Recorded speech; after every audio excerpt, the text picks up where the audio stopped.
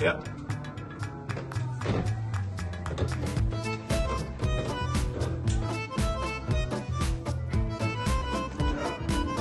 Well, this is fucking fiberglass that's just been milled.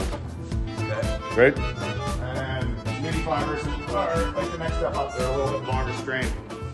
But that doesn't look like mini fibers at all. We are going to use the cloth. Um, the other product that you can use is called Biax. Here. Biax you can use with epoxy. So, like if you're doing polyester resin, you use well, this is Biax right here. So it's it's a chop strand with a woven woven on the back Right. but they don't use starch to put it together. And it's the styrene in polyester resin that breaks down chop strand mat like this stuff. Okay. If you try and use that with epoxy, it won't work. So, your choices are you can use a biax if we're trying to build structure, like a real thickness, mm-hmm. or cloth, and you just use multiple layers of cloth. So, that's some options. Sounds great.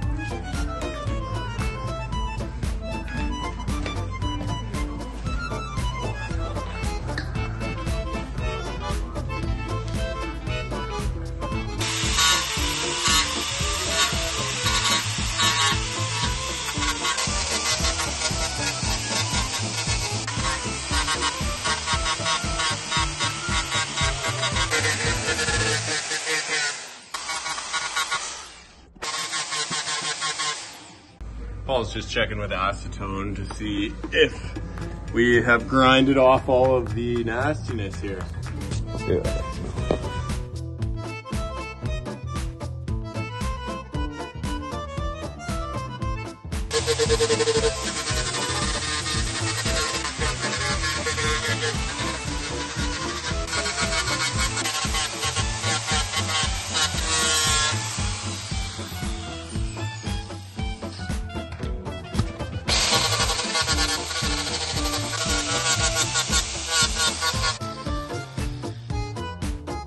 Paul's just getting this all taped up like a boss.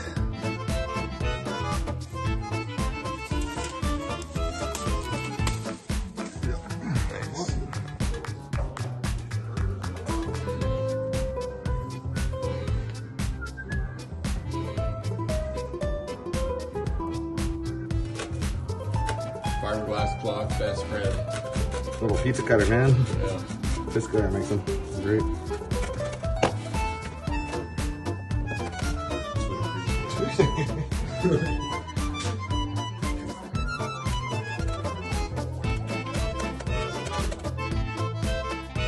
then we'll shape it and do a seal coat. And What is that? this just 105 and 205 West Systems epoxy resin. And this is anti-sag. It's colloidal silica. That's what it actually is. Just mixing up the consistency of peanut butter. We're going to use it to gap all the air bubbles out. So before we lay down our cloth. We check now, just let me bring it up. and See if it sags. Uh, it's not sagging like that. It's pretty much just the right consistency. Got any of the air bubbles.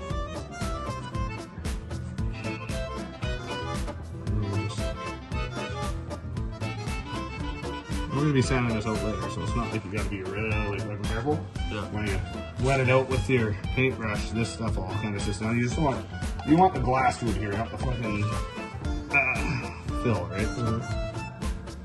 Scrape that in there. Get that all, all the air bubbles out. No, just do that on all the other ones. Nice when we wet this out with a paintbrush, it's just gonna sink right in.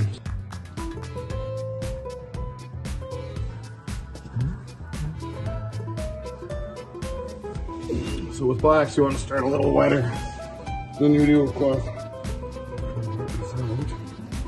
Nope, drop that in your.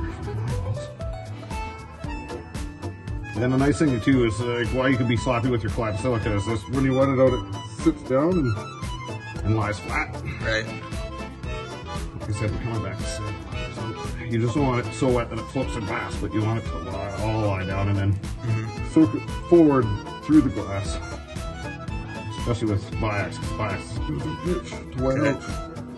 But you'll get you'll get the guys that don't know what they're talking about on the internet uh, telling you that you can't use biax Yeah. or chop strand with epoxy, which you, you can't use chop strand with epoxy, but you can use biax because biax is doesn't have starch in it.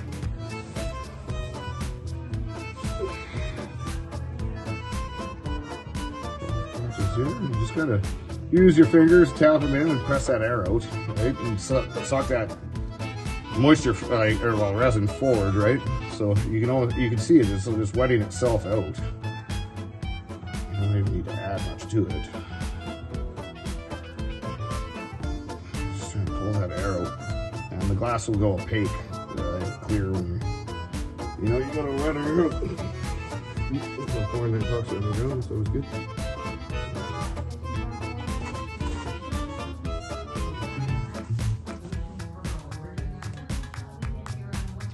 Again, I'm going a little wet because I'm doing the biax over top of it. So the biax, you do the cloth, or the chop strand down, right? And the roving back. So Okay. uh, just gonna figure out which. Uh,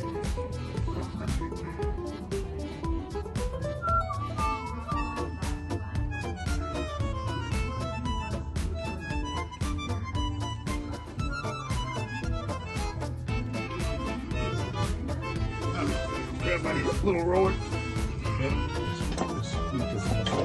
Oh. One problem with the like biax gives you a lot of weight, but it's fucking hard to let out with epoxy. Like I said, it's just hard to wet out. Uh, you know, those rollers come in handy, but God knows Yeah. where my apprentices put it. So Yeah.